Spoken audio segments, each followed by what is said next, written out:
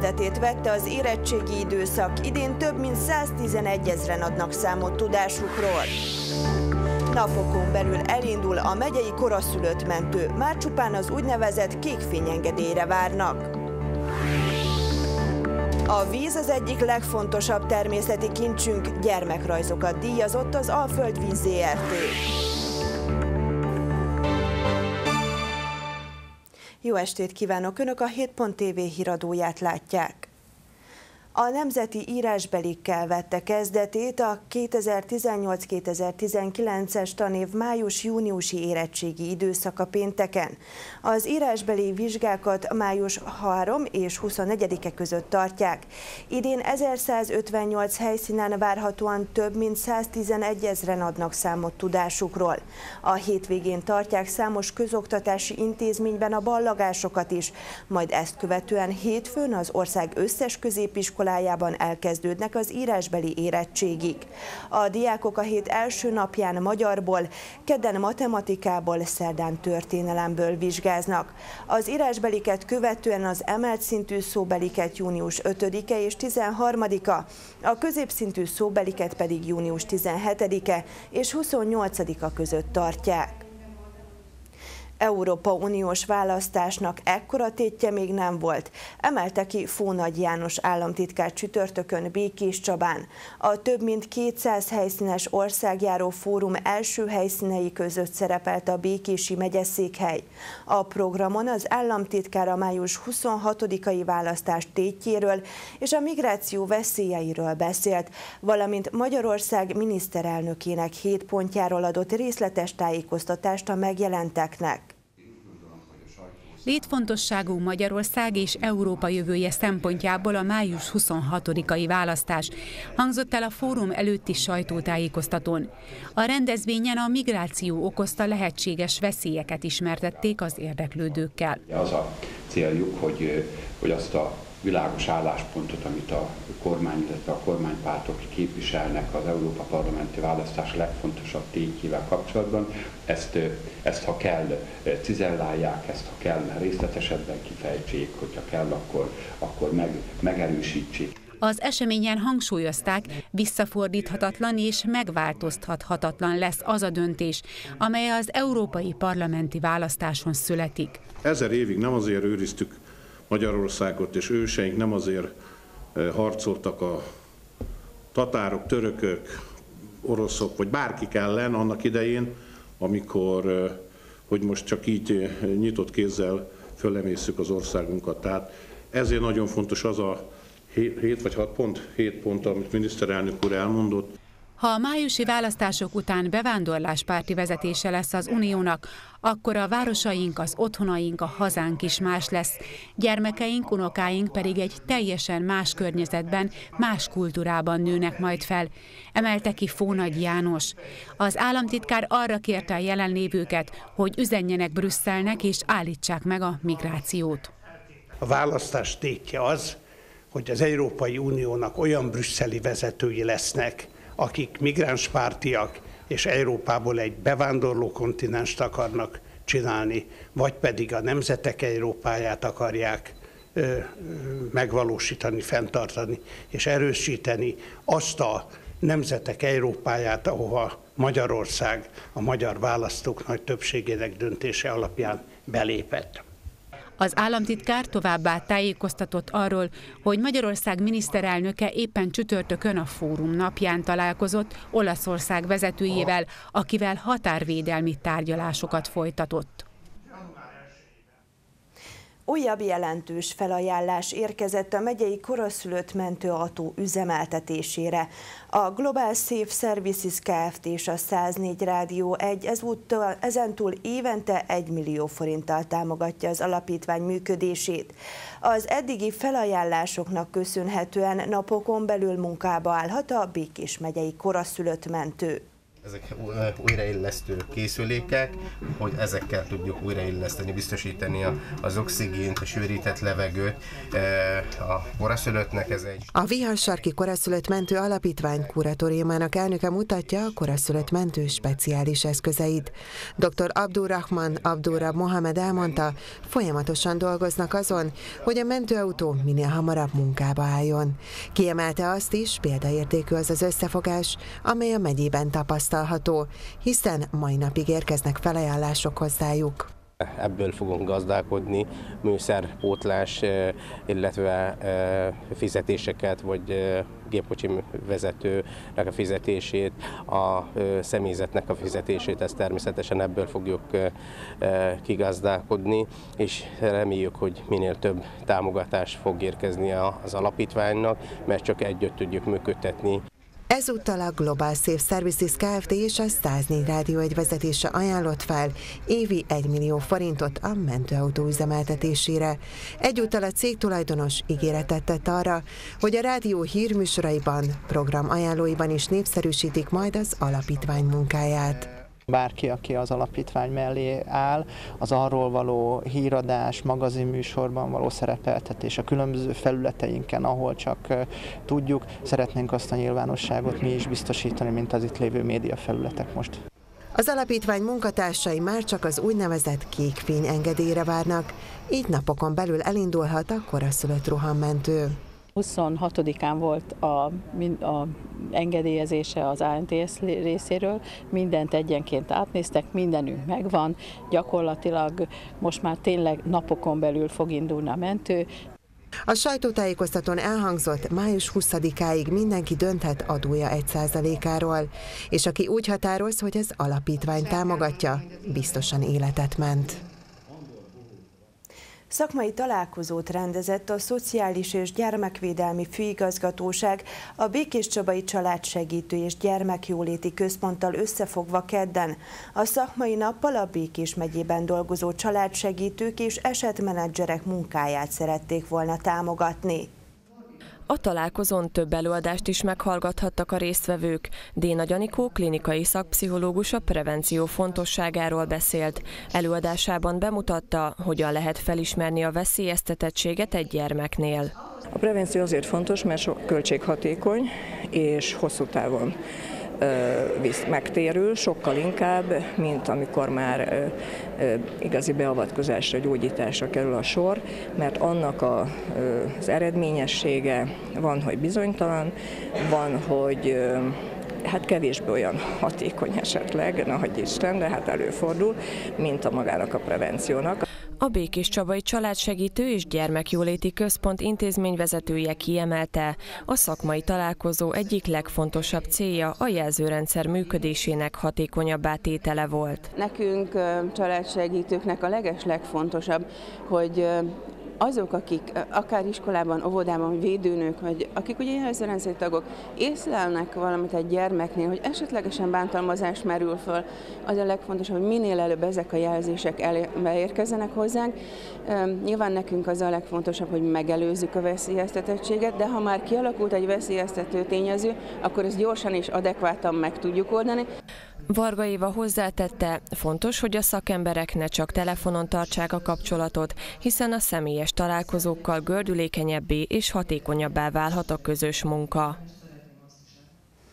Elbontották és új helyére költöztették a posztjenás házikót Békés Csabán. A város történetének építészeti jelképe 10 hónapig állt a főtéren. A ház a tervek szerint május 18-án nyit majd az evangélikus nagytemplom mögött, és várja programokkal a látogatóit. A hét elején elbontották a Békés Csaba újratelepítésének 300. évfordulója alkalmából 2018. július 7-én felállított Podzcianás házikót. Három napra készült ez a történet, és tíz hónap lett belőle. Úgy gondolom nem véletlenül, hiszen számos rendezvény követte még a ház életét. Itt voltunk augusztus 20-án, legutóbb pedig március 15-én, ez már ebben az évben történt.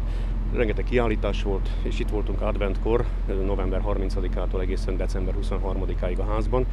A főtéren lebontott házikó elemeit új helyére szállították.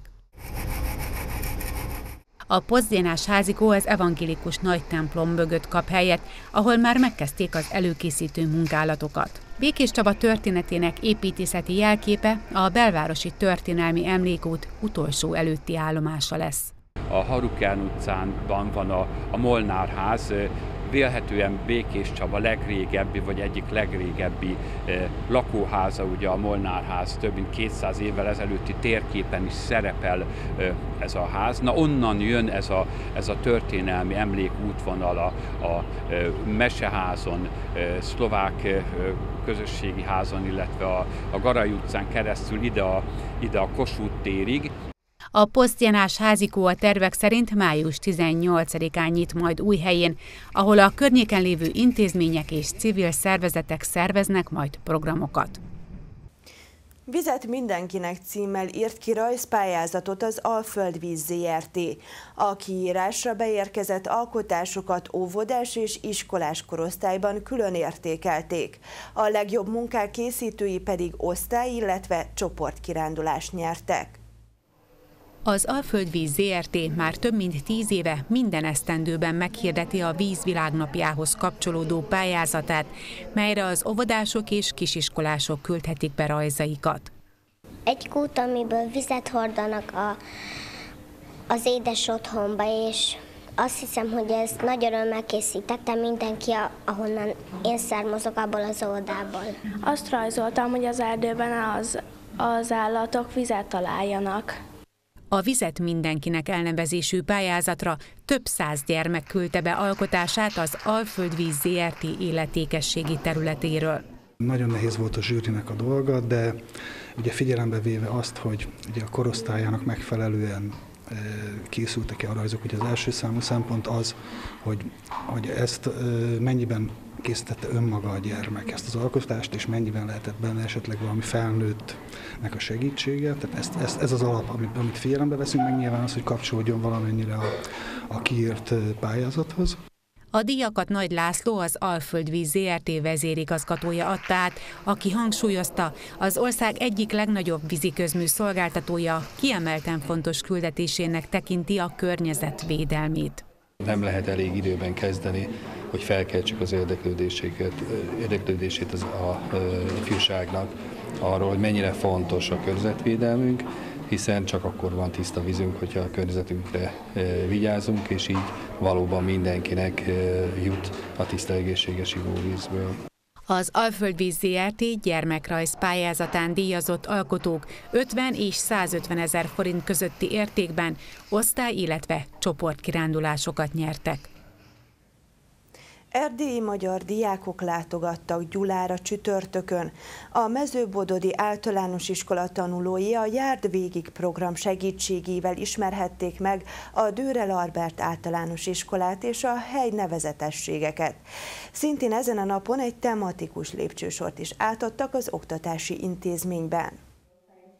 A Gyulai Dürer Albert általános iskola fogadóintézményként vett részt a Járd végig című program megvalósításában. Május másodikán Mezőbodonból érkezett egy erdélyi magyar tanulócsoport a Gyulai iskolába önkéntes munkaként megpályázni a Járd végiget, hogy olyan településnek, amelyben szorványban van az erdélyi magyarság, és nagyon fontosnak tartottuk, hogy egy szorványtelepülés segítsünk ahhoz, hogy el tudjon jutni egy anyaországi iskolába. Az erdélyi vendégdiákok nem csak az oktatási intézményt, hanem a fürdőváros nevezetességeit is megismerhették. Hihetetlen élmény, hogy itt lehetünk a szülőhazánkban. Nagyon örülök, annyi élmény van az Almási vár, a várfürdő, Erkel Ferenc emlékházon mind ez nagyon gyönyörű, és a régi kultúrákba belemenni nagyon szép. Miután a résztvevők körbejárták az iskola épületét, a helyi egyesület segítségével egy tematikus lépcsősort is átadtak az iskola tanítványainak és a vendégtanulóknak. A Dürer iskolában az első pályázati etap alkalmával a Dürer sarok lett létrehozva és kialakítva, most pedig ugye, mint hallottuk, a lépcsőket újították fel ebből, vagy próbáltak bele olyan információkat vinni, ami segíti majd a diákokat. Iskolának hívják most már, és kőből vannak falai. Zámori Ida intézményvezető a lépcsősor ünnepélyes átadóján elmondta, Kölcsei Ferenc lépcsőfokokon megörökített gondolatai örökérvényűek. Egyszerre fejezik ki az emberiséget, a hazát, az anyanyelvet és a múltat birtokba vehetjük a Dürer lépcsőket is, mely három témaköré épülve igyekszik nemzeti és, és szülővárosunkhoz kapcsolódó értékeket közvetíteni a gyermekeinknek. Ezt azt gondoljuk, hogy fontos egyrészt azért, mert közösségépítő hatása is van, és másrészt pedig a lépcsőfokokra lépve ott van a gyermekeinkben így egyszerre a múlt, a jelen és a jövő, hogy bizony van kire felnéznünk. Az ünnepség végén Zámori Ida intézményvezető, Szabó Enikő szakmai vezető, Kora Alíza diák önkormányzat elnöke és a mezőbodondi általános iskola egyik tanulója adta át a pozitív gondolatok lépcsőfokait.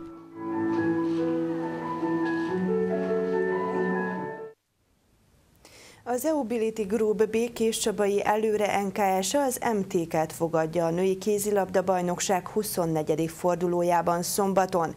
A két csapat januárban találkozott egymással, akkor 26-26-os döntetlenre végződött az alsóházi rangadó.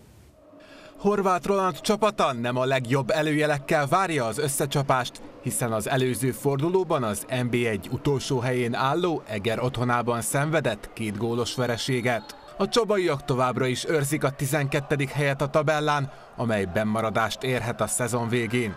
A következő ellenfél az MTK eddig három ponttal többet gyűjtött ebben a szezonban, így egy hazai sikerrel csökkenhet a két együttes közötti távolság. A hét elején erőléti edzések voltak, majd taktikai, és a hétvégén pedig majd videóval fogunk készülni az MTK mérkőzésre. A Békés Csaba rossz sorozatban van a bajnokságban, hiszen az utolsó hét mérkőzésen nem sikerült pontot szerezni.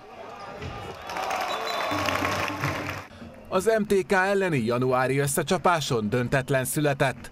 Valfis Mercedes csapatkapitány szerint a két csapat szombati mérkőzése is szoros küzdelmet hoz majd. Közelővel készülünk rájuk, ugyanis az ottani mérkőzésen X-et tudtunk játszani, egy pontot tudtunk elhozni, egy úgy érzem elég kiélezett mérkőzés volt ott akkor, úgyhogy most itthon mindenképpen vissza akarunk vágni nekik. Horváth Roland együttese szombat este 18 órakor lép pályára a Békés Csabai Városi Sportcsarnokban. Híradónkat látták, további híreinket és korábbi műsorainkat megtalálják a behír.hu oldalon. Köszönöm figyelmüket, maradjanak továbbra is velünk viszontlátásra!